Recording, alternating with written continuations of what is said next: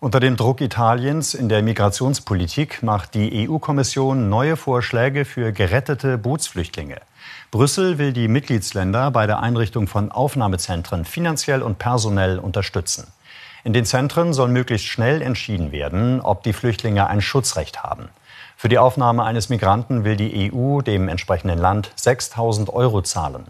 Bislang hat sich noch kein Staat bereit erklärt, ein Aufnahmezentrum einzurichten.